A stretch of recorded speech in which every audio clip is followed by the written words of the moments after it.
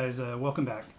I'm going to do a video today of a custom build um, that I did um, with a, for basically it's an Aurora 90. Um, the frame that I got um, said Halo 90 on the box. Um, but I'm just going to go over what I did um, and, and then in detail a couple of the items that I ran into trouble with uh, that I didn't really understand uh, as this was my first uh, build.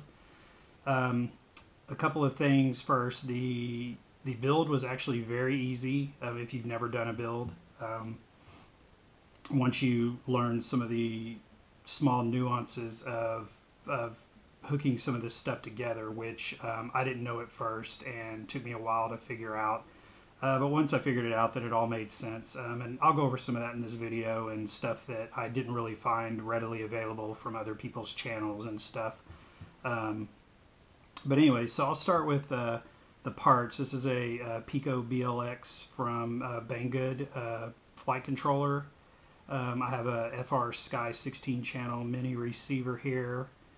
Um, I got the I got a Cicada 4 in 1 6 amp um, uh, ESC running BLHeli-S. Um, it supports uh, 1 uh, through 2S LiPo.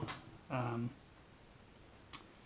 the frame is the Halo 90. Um, I got the uh, 1104 KV 7500 uh, motors from uh. Um, I think these are the exact same ones that actually do come on the Aurora anyways.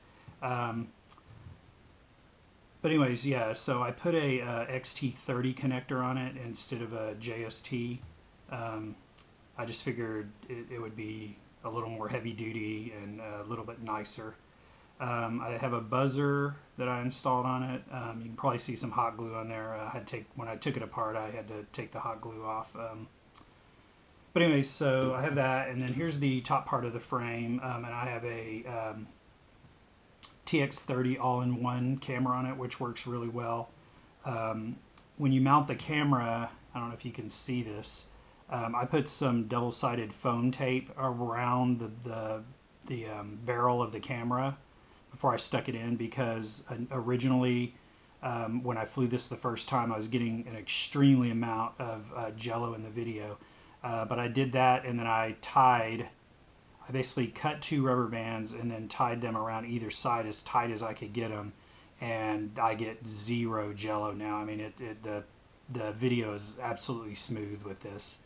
Um, but so that's the camera and the top part of the frame um, so I'll go. I'll walk. I'll walk through what I had to do for the build process here. So the very first thing I did was put um, the bottom silicon screws in here, and then I put a, a, a, silicon nut on. So I don't know if you can see that there, but underneath the uh, ESC is a silicon nut, and that just raises the ESC up off the base a little bit. Um, and then I basically um, wired up the motors. So I basically installed the motors, all, all four screws in each motor. I know some people only run two screws, some people run three. Um, I just ran two. Um, and a word of warning on any of the metal screws on this entire quad, um, I would put a little little drop of Loctite on those because um, I've flown about three or four times and then had a big crash and couldn't figure out why, just midair crash, and I get the quad back and Sure enough, you know, a screw in here fell out and I guess caused enough instability where a prop, you know, that, that it moved up a little and hit a prop or something and blew the prop. Um, so anyways, use Loctite on all the screws. Um, that's what I'm, I, I, have it taken apart right now, so that's why I'm doing this video, and I'm going back and re, make, making sure I have Loctite on everything. Um, so the the the next thing is once you have the motors wired up. So let me let me explain something with the motors. So this is the, the this is the back of my quad down here. So this is motor with with Betaflight. This is motor one, two, three, and four. Um, so what you're going to notice is when you look at your ESC and you flip it over and look underneath here, you'll see on the bottom which motor this ESC this is for. Okay it's not going to match up. So like if you look here, I don't know if you can see it in the video, that's C, that's one, this is motor one and two, but if you flip that over, that's really motor three and four. And then over here, it's motor three and four, and that's really motor one and two. So you don't really have to worry about any of that. Just wire your motors to the closest, you know, ESC set of ESC. So there's there there will be three wires and then three um, pads that you want to solder to. Put a little drop of solder on it, solder those on, but just just get your wires to the closest um, to the closest ESC that, that or pads that you can on the ESC. Um, and then the next thing you're going to do is you're going to take the signal. This is the signal cable here for the ESC. So this is the back of the quad here. Um, so the signal cable comes out, and if you look super close, I don't know if you can see it. I don't know if it's focusing or not. Um, there's these little bitty numbers S1, 2, 3, and 4. Um, so your your orange wire here is going to go to your S4.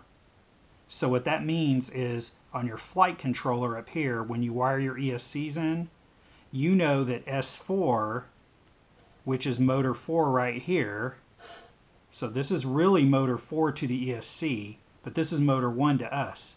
So all you want to do is take the, the signal cable for this motor, signal, signal cable 4, and make that go to ESC1 and vice versa and, and just follow that pattern all the way through. So so like let's take this this motor for instance. So this motor is motor 3 to the ESC but to us this is motor 2 so then you're going to look on your flight controller and you're going to find ESC2 so that's going to go the purple wire. So that's going to go right here to ESC2 this is ESC3 and 4 so you're just going to wire it like that um, it's pretty straightforward once you once you understand that how to wire it. Um, I, that that was one of the things doing a build for the first time I did not understand. So um, once I figured that out, it made was a lot more obvious. I thought originally I was going to have to run wires over here from the motors to the the specific spots, but you don't have to do that. It's just just as long as you run the correct signal cable to the correct spot on the ESC. Um, and then I wired my uh, uh, uh, FrSky receiver in, so I'm running S-Bus. So on this Piko BLX, there's these two these tiny little pads right here that say S-Bus and PPM, um, and you want to you'll have to bridge two of the, there's three pads. You'll have to bridge two of those pads with a drop of solder to get S-Bus, and if you bridge the other two here, then you'll get PPM. Um, and then so basically you just wire these in, and if you look underneath, it'll tell you uh, wh- which one is your transmit um, in your ground. So yeah, this is a the, the yellow wire is RX, so that's your transmit, and then your uh, your positive and uh, ground. So basically, you just wire it in like that. So you know, if if this is the front of the quad, you're going to wire in um, yellow, red, and black. Um, and then your buzzer uh, pads are right here. So you're going to wire your buzzer up here. Your your the buzzer positive and buzzer minus are right here. Um, and then uh, your power, I, I forgot about the power. So so basically this is your power cable. So you'll have to stack these. Uh, you'll have to stack these two uh, power cables. So one will go. The, basically, the power pads on the ESC will you'll you'll mount um, your power cables there, and then I run a short pigtail from there um, up to the flight controller, and and from underneath, I basically push those through, and then and then put a drop of solder on top to hold those in. Um, and that's really it. There's not a whole lot of soldering to get this thing working. Um, and I'll tell you right now, this thing, uh, I'm going to put some flight video. Um, I'm not a very good pilot, but uh, once once I got this thing set up and got you know everything working correctly and got it tuned up, um, I, I will show you. I'll, I'll, also put in the video the PIDs that I'm using. Um, man, this thing flies the best of any little micro quad that I've had yet. I mean, it, it flies like a real like five inch, you know, like a 220 or or a 210. Like, I mean, it, it it's really that good. It doesn't obviously have nearly the amount of power but the control and it, it's it, it's nice. I this is my favorite quad so far. Um, but anyway, so yeah, and then your camera is going to. I, I don't have it wired right now. I'm going to solder it back on in a minute, but um, your camera is going to wire right here to VTX positive and ground. Um, I've saw I've seen some people wire it to the five volts over here. I don't I don't really know if it matters or not, but I'm going to use the pads on the board that say it's for the VTX. Um, so that's pretty much it. Um, it was pretty simple build. Took maybe a couple hours total, and that was with me having to search the internet to figure out how to do some stuff and not being really sure of what I was doing. Um, but anyways, I hope this was helpful. Um, I'll show some flight footage after this, and I will show the Betaflight setup that I uh, did to get this working.